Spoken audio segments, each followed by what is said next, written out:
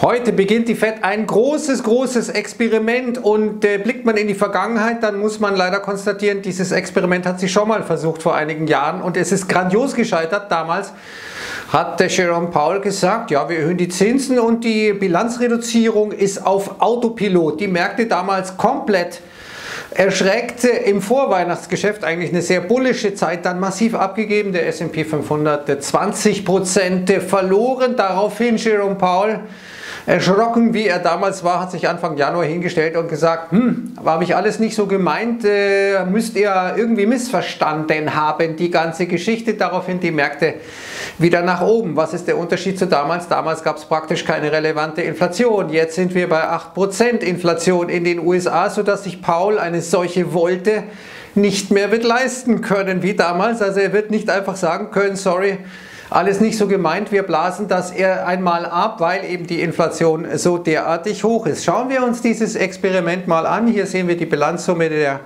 US-Notenbank Fed, knapp 9 Billionen Dollar in Relation zum BIP, etwa deutlich weniger als das, was die EZB hier an Bilanzsumme zum äh, BIP der Eurozone aufzuweisen hat. Aber sei es drum, wir sehen, wir sind äh, vor äh, dem Corona-Crash unter 4 Billionen gewesen, haben also die Bilanzsumme mehr als verdoppelt in sehr kurzer Zeit. Und jetzt kann dieser Spruch nicht mehr gesagt werden und die Fed hat trotz dieser hohen Inflation noch nicht einmal mit der Reduzierung ihrer Bilanzsumme angefangen. Die Fed wird das tun. Die EZB hat gesagt, ja, irgendwann nach dem dritten Quartal werden wir mal damit anfangen, während auch in der Eurozone die Inflation bei 8% liegt. Also das ist der Unterschied. Aber zurück zu diesem Experiment. 95 Milliarden Dollar werden jetzt monatlich hier aus der Bilanzsumme entfernt, meistens indem man einfach auslaufende Anleihen nicht verlängert oder nicht ersetzen wird.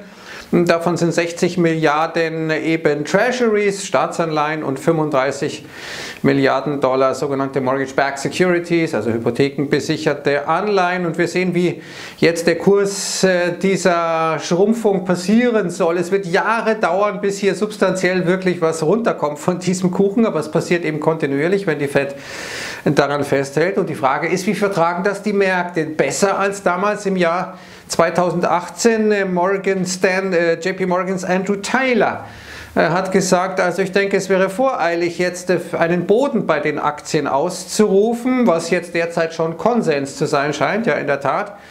Viele tun das, nämlich dieses Quantitative Tightening, das ist die Straffung der Geldpolitik, is about to launch. We're going to get another 100 basis points in rate hikes over the next 8 weeks. Also wir werden in den nächsten 8 Wochen 100 Basispunkte, 1% Zinsanhebungen bekommen und eben jetzt in Kombination noch dazu diese Bilanzreduzierung. Wie gehen die, äh, die Märkte damit um? Schauen wir uns mal andere Perioden an. Hier sehen wir das ähm, damals 2012 äh, die Märkte das einigermaßen gut verkraftet haben. Damals war schlichtweg die EZB in die Bresche gesprungen. Wir erinnern uns, Mario Draghi, we do, uh, we do everything uh, to preserve the euro and believe me, it will be enough, hat er gesagt, der Römer damals. Und dann sind die Märkte halt komplett gestiegen, weil im Prinzip die EZB die Rolle der FED eingenommen hat als Liquiditätsspender ultimativer Natur. Und dann sehen wir aber, dass natürlich jetzt mit Ausweitung der Bilanzsumme eben im Corona-Crash in Reaktion auf die Corona-Geschichte dann der S&P 500 massiv gestiegen ist. Was wird passieren, wenn die Bilanzsumme schrumpft?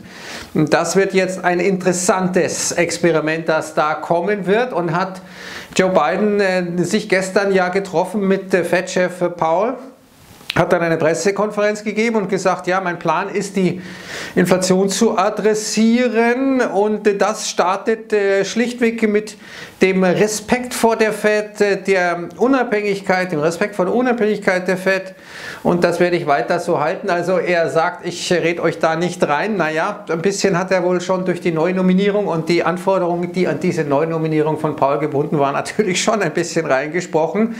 Und dann der Sprecher im Weißen Haus, Biden versteht, dass ähm, die Inflation Ärgernisse hervorruft.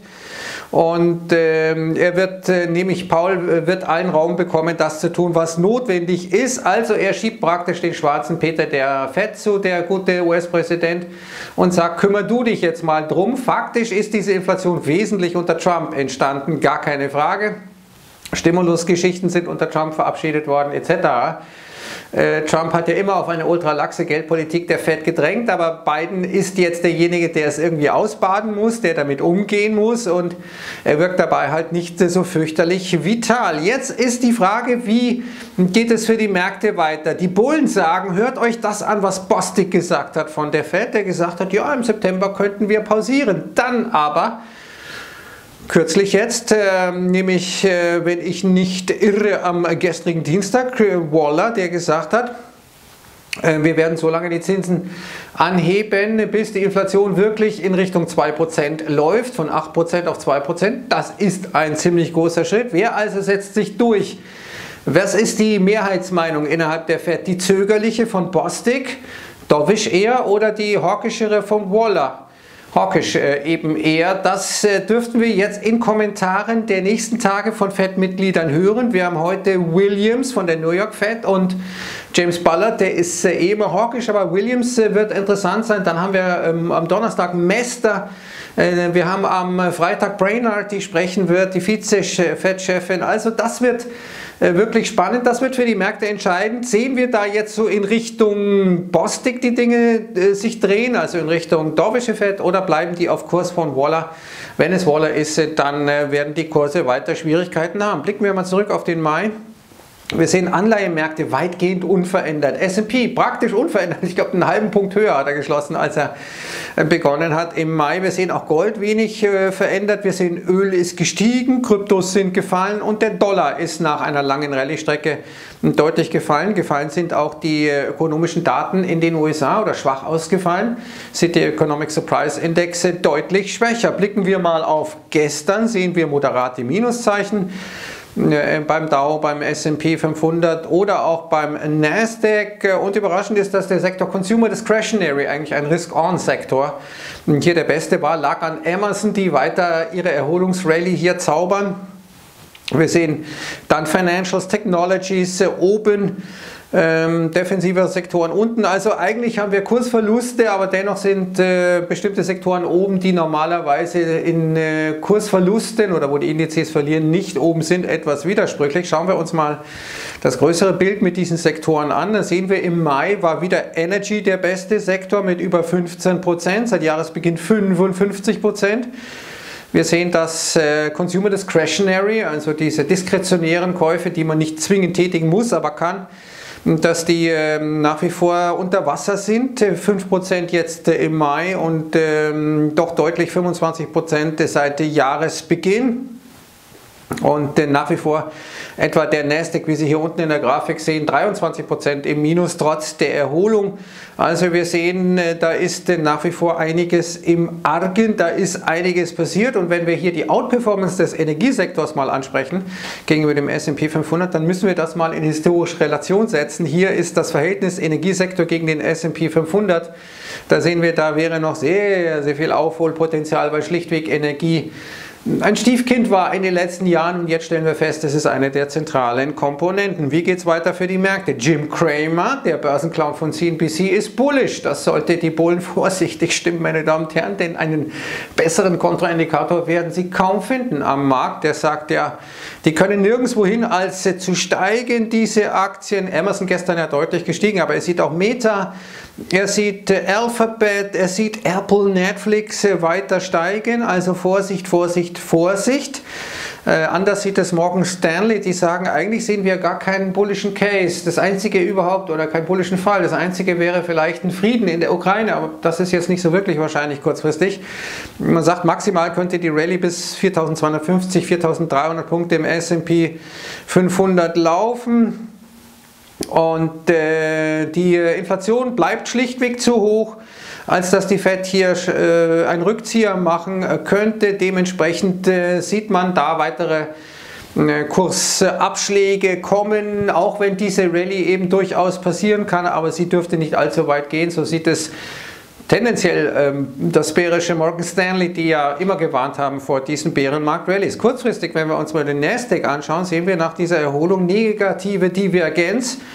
Hier oben im RSI. Wir sehen auch negative Divergenzen in der Stochastik. Im Best Case oder im äh, mittelfristig bullischen Case könnte man sagen, okay, der fällt jetzt nochmal und dann gibt es eine inverse Schulter-Kopf-Schulter-Formation, wenn diese Schulter dann auch gehalten wird und der Fall dann auch wirklich kommt, diese negativen Divergenzen sich da auch wirklich dann manifestieren ähm, und äh, vielleicht sorgt heute eine Abstufung für US-Tech von Morgan Stanley, nämlich Amazon, Google, Facebook und andere, dass äh, dieser Sektor heute wieder ein bisschen Probleme bekommt. Schauen wir uns aber insgesamt mal an, jetzt wenn wir wieder auf diese Bilanzsummenreduzierung kommen, wie eigentlich jetzt die Bewertungen sind bei den US-Aktienmärkten, nämlich Price-to-Sales-Ratio, also Marktkapitalisierung eines Unternehmens in Relation zu seinen Umsätzen.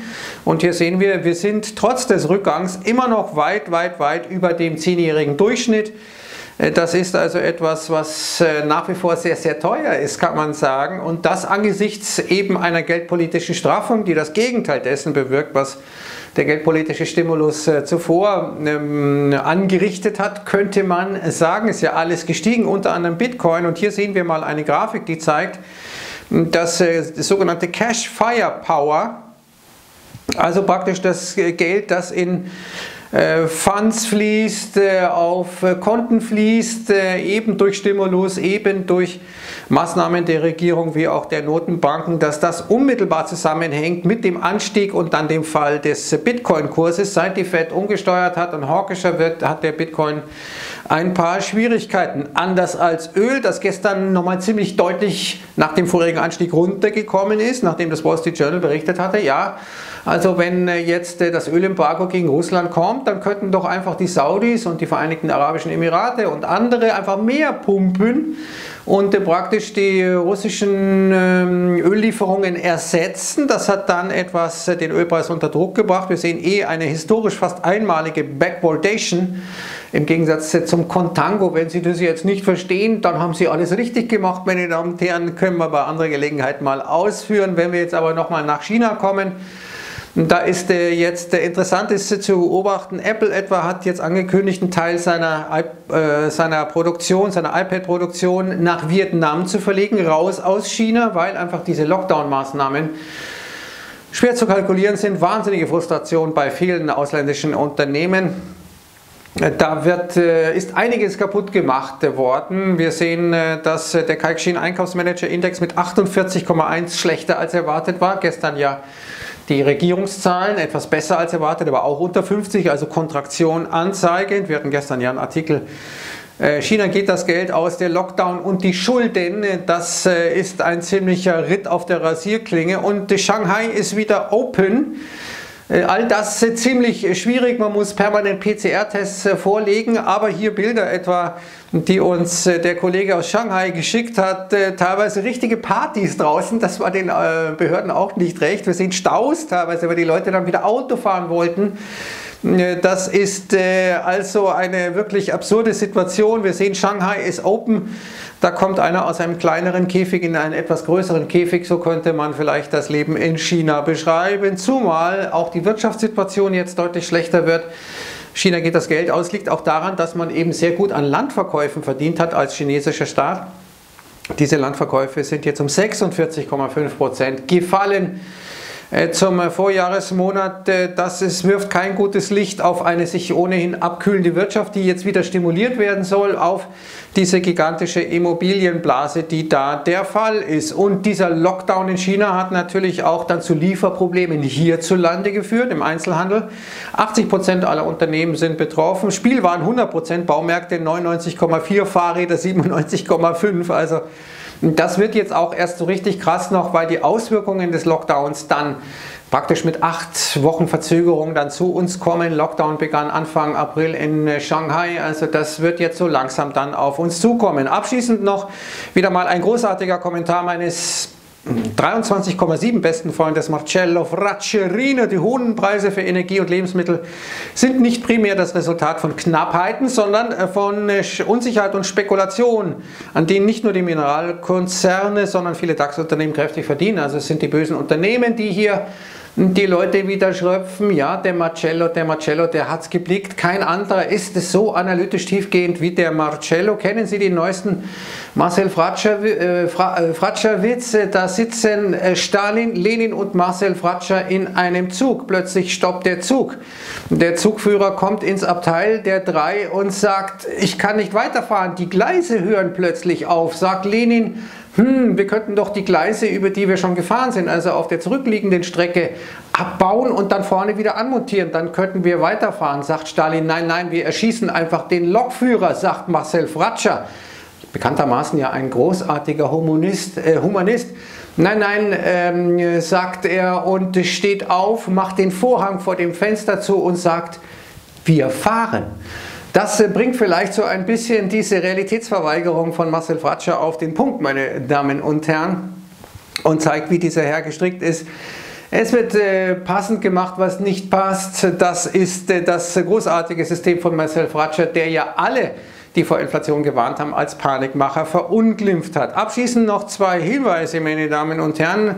US-Börsen, der Startschuss der FED zur Bilanzreduzierung birgt Gefahren. Erster Artikel und zweiter Artikel über einen taumelnden deutschen Energieriesen, nämlich Uniper, ja eine, eine Tochter, kann man sagen, eine Abspaltung von E.ON, too big to fail. Da kracht es ganz schön heftig, denn die waren sehr dick im Russlandgeschäft und das ist jetzt ein bisschen schwierig geworden. Also diese beiden Artikel will ich Ihnen Ihnen unter dem Video verlinken und sage jetzt erst einmal Servus und Ciao zum Start dieses historischen Experiments.